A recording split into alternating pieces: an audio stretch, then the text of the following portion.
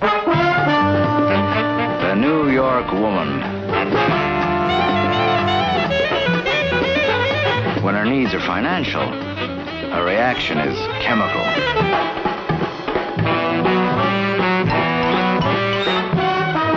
The New York woman.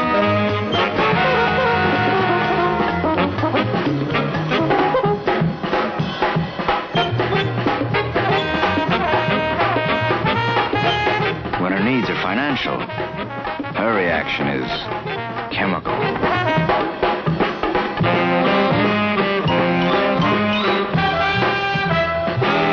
The New York woman, when her needs are financial, her reaction is chemical. Chemical New York, the bank that works hardest for you. The bank for the New York woman, wherever she is.